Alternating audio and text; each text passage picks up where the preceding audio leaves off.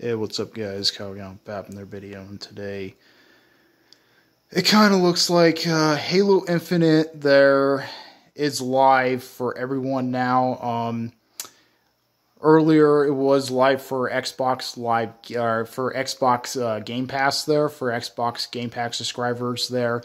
Now it's live for everyone there. So if you got an Xbox Series X and S, Xbox One and a PC there. It's live right now. Uh, confirmed by uh, 343 on their conference saying it was going to be live today there.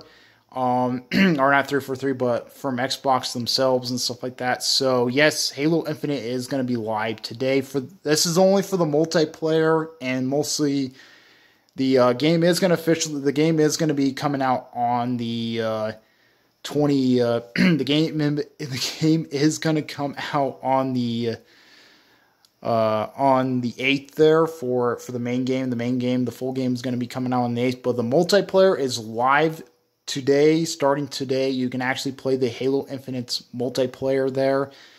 Um so yep that's pretty much it Comment, rate, more responsive to the spirit with. We like like more videos. Please subscribe. Have been catching most of our uploads. Comment responsive to the spirit with. We like her out. Of your peace.